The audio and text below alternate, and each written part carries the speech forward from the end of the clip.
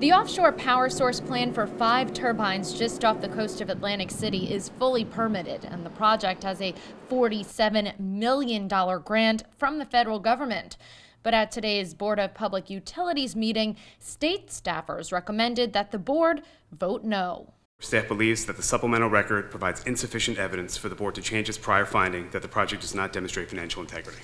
In short, the state thinks that the project does not have enough funding and it won't benefit New Jersey ratepayers. The board agreed. Offshore wind farm denied. Commissioner Holden? Yes. President Mroz? Yes. It's not the first time the board shot down the proposal from Fishermen's Energy. They've appealed in court, and that's where the company's COO says they'll be on Monday. This thing is not over. This project will get built someday. Gallagher says the offshore wind farm would create 500 jobs and that they've agreed to have every penny needed in the bank 30 days prior to construction. We aren't quite sure what more uh, financial integrity you could you could produce.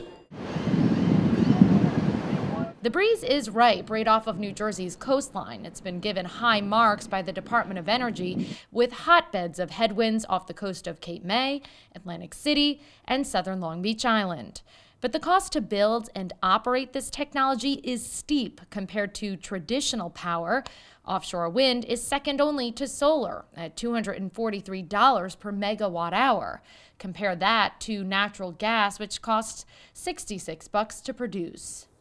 Fishermen's Energy COO swears the turbines won't cost taxpayers a penny, but he does concede that there would be a small increase in energy rates. We figure it to be about a cup of coffee a year to the average ratepayer.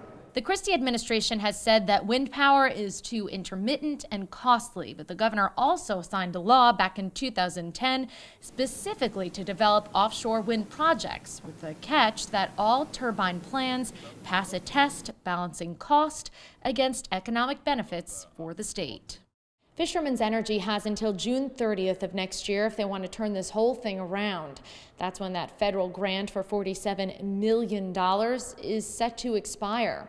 And some of that money has already been spent, meaning it would just be a waste. In Trenton, I'm Christie Duffy for NJTV News.